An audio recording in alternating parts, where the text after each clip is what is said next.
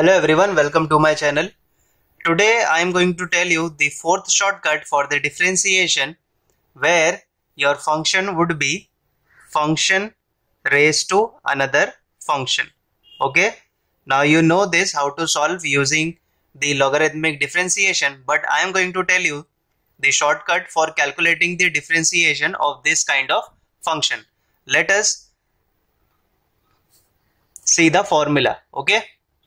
So the formula goes here like this. First of all, you have to write this function as it is bracket g of x upon f of x into derivative of f of x plus log of f of x into derivative of g of x. Okay, once again I'll repeat if you have a function f of x raised to g of x you have to write this function as it is copied here then bracket g of x upon f of x into derivative of f of x plus log of f of x into derivative of g of x. Okay? Now we are going to solve some problems based on this kind of function. Now let us do that. So the question here is y is equal to x cos x. Okay? So here you can relate that this is nothing but f of x to the power g of x.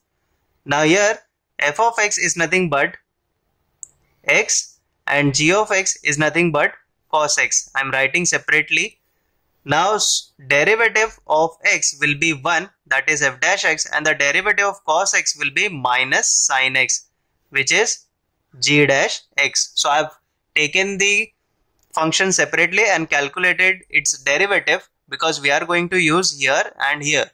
Now, now the formula goes like this. So the derivative of dy by dx will be copy the function as it is which is x to the power cos x bracket g of x upon f of x. So g of x is nothing but cos x upon f of x is nothing but x into f dash. So f dash is nothing but 1 plus log of f of x. So log of f of x is nothing but x into derivative of g of x. So this is nothing but minus sin x and we are done. So what you can do here, the next step is to write this minus sign here. So this will be cos x upon x minus sin x into log x and we are done with the derivative. Okay. With the practice you will be able to get the answer in just 5 seconds. Now let us move on to the more example here. Okay, the next question here is y is equal to tan x raised to e raised to x. I have written the formula again so that you can see it. Okay? Now you can see that this is nothing but again function to the power another function. So f of x is nothing but tan x and g of x is nothing but e raised to x. Okay? Now let us calculate the derivative. So f dash x will be you know the derivative of tan x which is sec square x and the derivative of e raised to x will remain same which is e raised to x. Now we are going to write the derivative according to this formula.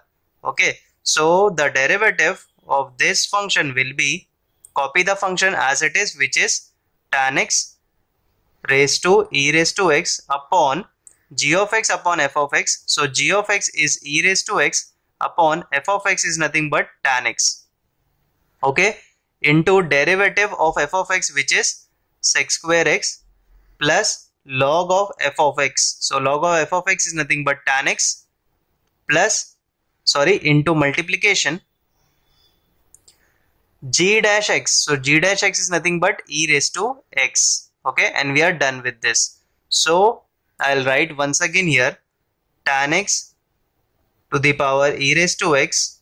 This is e raised to x sec square x upon tan x plus e raised to x log of tan x. And we are done. So with the practice you can calculate this kind of function derivatives in within 5 seconds. Okay? So practice it and it will help you for your board exam and also for the entrance. I hope you like this video. Share it with your friends and subscribe to my channel. Thank you so much for watching this video